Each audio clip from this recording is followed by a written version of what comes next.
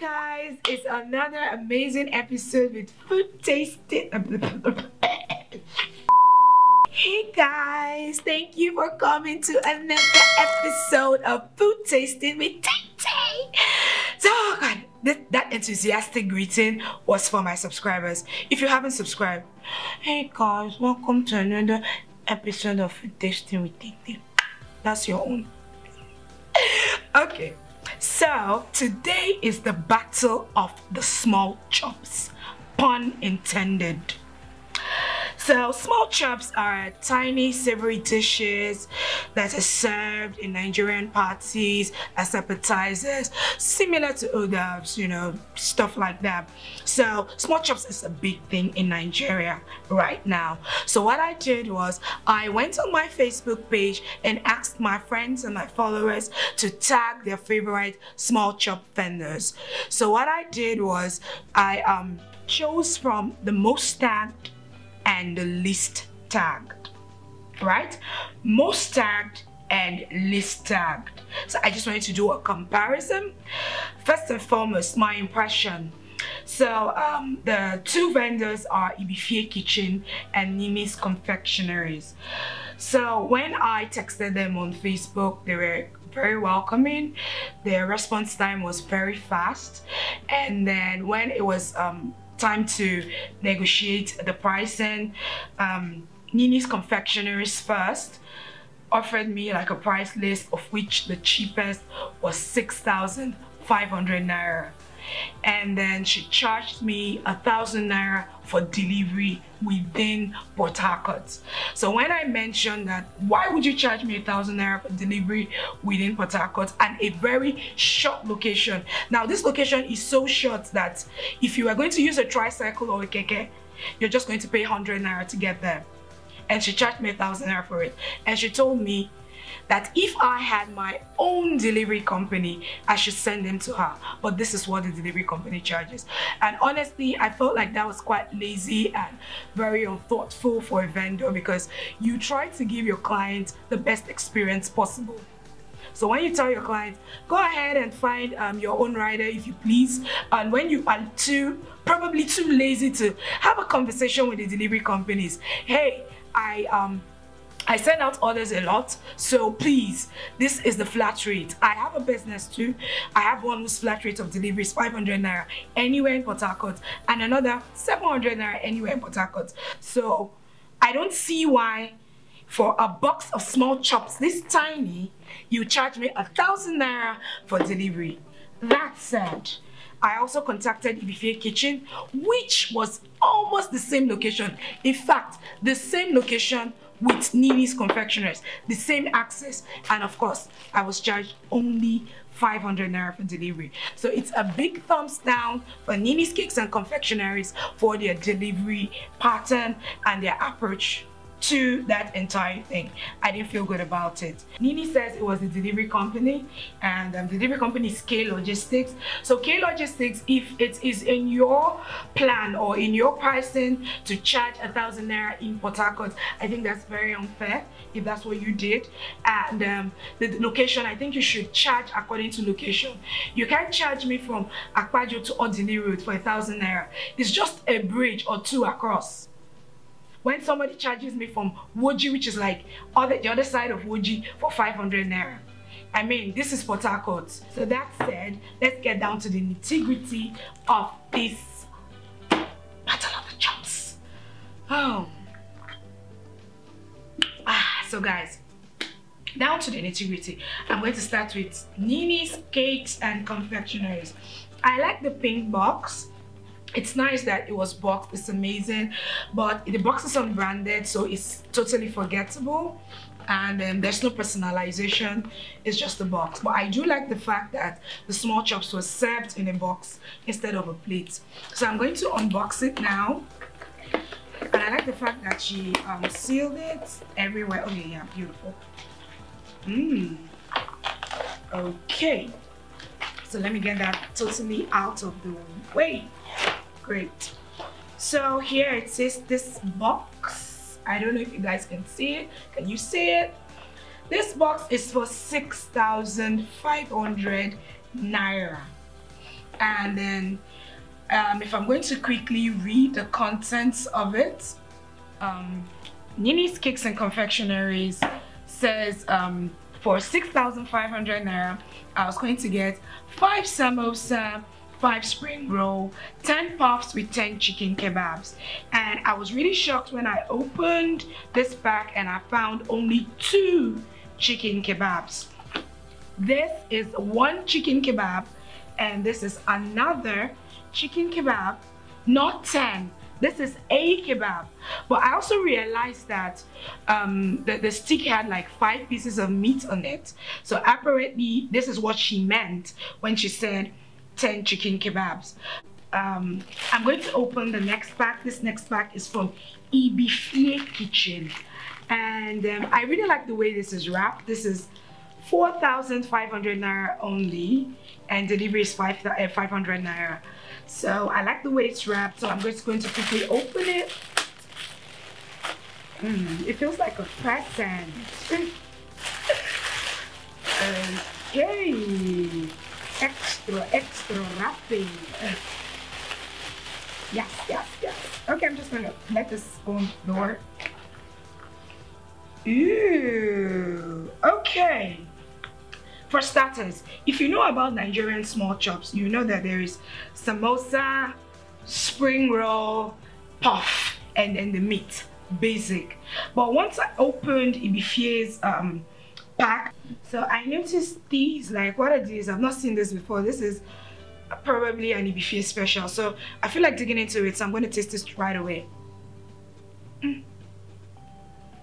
Mm. so it's, I don't know if you can see it, it's chicken franks or sausages wrapped in batter. I like the twist. I like the fact that she didn't just um, put the chicken franks, she wrapped it in batter. Nice. And it's a, it's, it's a welcome surprise, you know. You're not expecting it and it just happens. I really like it when chefs own their meal. You know, do something different, create something different, amaze us, tantalize us, give us something decadent go out of the ordinary and Ibifie Kitchen has done that and then she also has um, two of these customized sauces I don't know what am I gonna I'm, I'm just gonna dip this in and try it Mmm. Oh, it smells so, it smells so fresh. It smells like peppers and it smells sweet at the same time. It's so savory.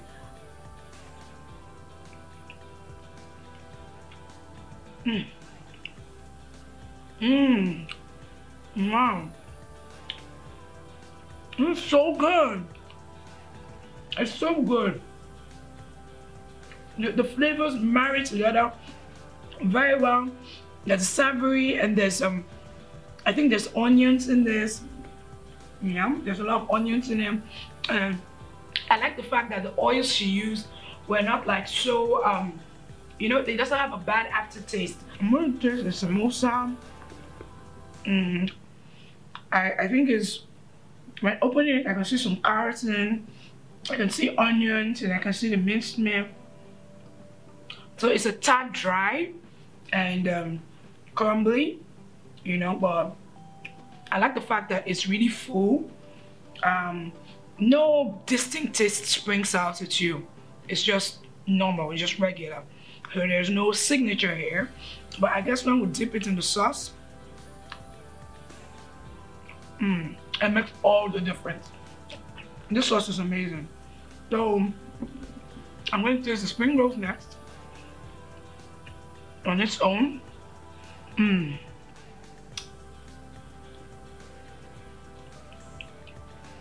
Mm. I think you use the same feeling with the spring roll for the spring roll um, with the samosa, you know, it's the same feeling as in the spring roll that is in this samosa. So in this one, it's not jumping at you. The meat was not was not like the meat didn't grab all the flavors, so it's just there. You know, like mm -mm.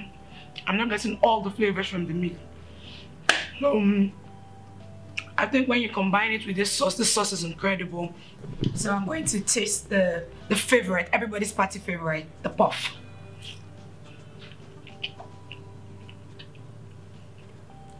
Okay.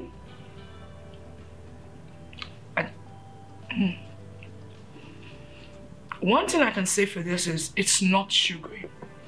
I don't know where small chop bakers, pardon me, got the idea that they needed to fill this with sugar. It's not sugary, it's amazing. There's also no pepper in it. And then, but um, as puff goes, it's it's that I like I like the fact that it's soft. I also like the fact that it's not so oily. Like when you put this in your mouth, you don't it doesn't fill up with oil. So I like the oil balance. When you create a sauce like this, everybody expects something, everything to stand out, and every other thing is just okay. You know we're waiting for it to beat the sauce the sauce is everything. Like i want to buy plenty of the sauce and eat everything with it. So that's there for Ibifie's kitchen. Oh i haven't tasted a chicken yet. I like the fact that chicken is smoked you know? Small chops everybody just fries the chicken but this looks oven baked. It looks smoked.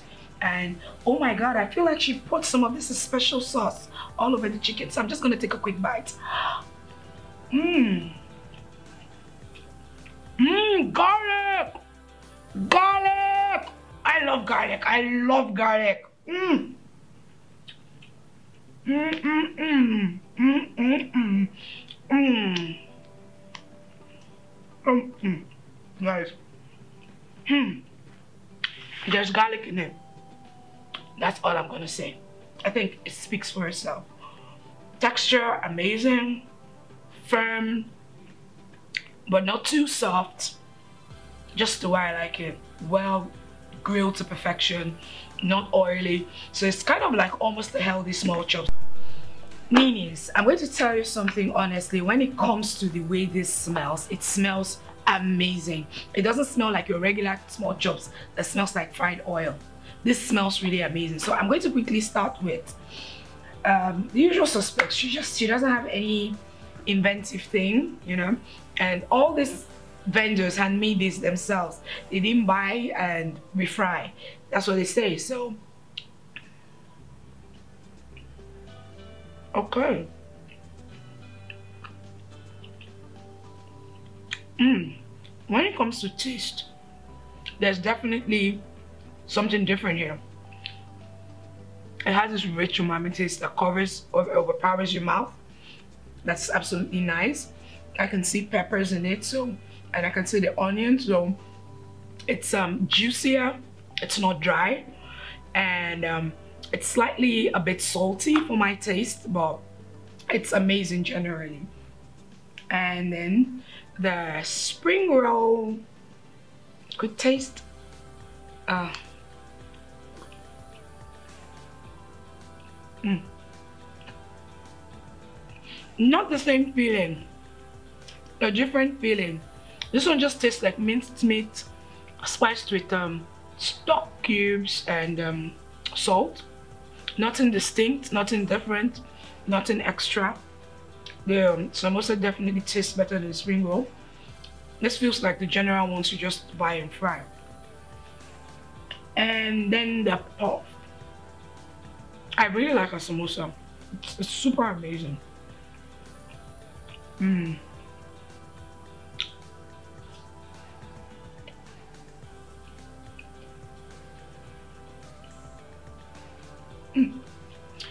Funnily, I'm getting almost the same taste. Mm. This is slightly more sugary. I can get the sugar from this. And um, what I like about this puff is you're not getting the yeast taste at all. So she did a very good job mixing her yeast it's also not super oily it's it's delicious. I like it. And then it has an aftertaste. The sugar just like kind of hangs at the back of your tongue or the back of your throat but it's really nice. And then mm, mm, mm, to our one kebab. It's boiled chicken tossed in the sauce. Um, I'd go for a grilled chicken any day but it smells so good. I hope it tastes as good. Um so yeah she did a good job with you know letting the spice permeate all over the chicken. But it's a really safe very safe choice. Anybody can eat it. There is no signature. So woo, woo, woo, time for the bread. Let's step one by one. Spring roll. Dun dun dun dun. Hmm who wins Ibifie's kitchen or Nini's Cakes and Confectionaries, I'm going to be very honest. Mm. None. They, they drew, like they totally drew. Yeah. Spring roll is not doing for me for either of the vendors. The samosa. Yay! Nini's. Nini's has more flavor. Nini's has more flavor. This was amazing. And then the puff. Dum, for the puff for me, um, if you are, you know, you don't like sugar, you are old school, you like street puff, this this is for you. Or if you're you have a sweeter, if you're sweet tooth, you you know, this is for you. But this is not sweet enough. It's not as sweet as a sweet tooth would like. So this is like now this for me is not a matter of preference you know. I prefer zero sugar. So uh, i'm leaning towards this. Even if there is no um, super signature to this you know it's like flour and yeast and everything although what's amazing about it is sometimes when you eat some puff-puffs you you can taste the yeast but you don't get that in any of this. These are very safe choices. They are super safe. This leans towards people with a sweeter tooth and this leans towards those who would prefer to avoid sugar. So i think what Ibifie did with these chops is to make it as healthy as possible. She leaned a lot towards the health health thing with her grilled meat and everything. So um, as for the chicken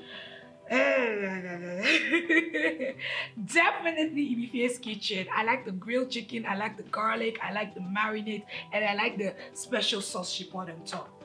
And of course, this has no comparison, nothing to compare it with. While Nini's Cakes and Confectionaries did the basic choices, she went the extra mile. Ibifie's kitchen went the extra mile with this and her special sauce. This sauce is amazing. It's important it is very important for a chef to own his or her meal. That's what makes you stand apart. When you are a food vendor, creating your signature is like sending a love letter to your clients. It tells your clients that you put some thought into it and you sat down and you created something. So I lean towards more of um, vendors who took out time to create a signature. So for pricing, Ibifie's Kitchen is 4,500 Naira only and this was 6,500 Naira. Value for money, um, I feel like Ibifie gave more value for money than Nini's Cakes and Confectionaries. All in all, it's amazing what these ladies, these vendors are doing. Patronize them if you will. Thank you so much. Thank you so, so much for staying till this time. Until our next episode, if you want me to try somebody's meals, please comment below i'm going to try it and i'm going to tell you honestly what i think guys if you loved this video i beg you in the name of everything you hold there forgive me. No don't forgive me. I'm going to always say the truth. But forgive me if you make. Share my video. Like my video. Subscribe to my channel so i can keep bringing you more content. Thank you so much for staying with us. Bye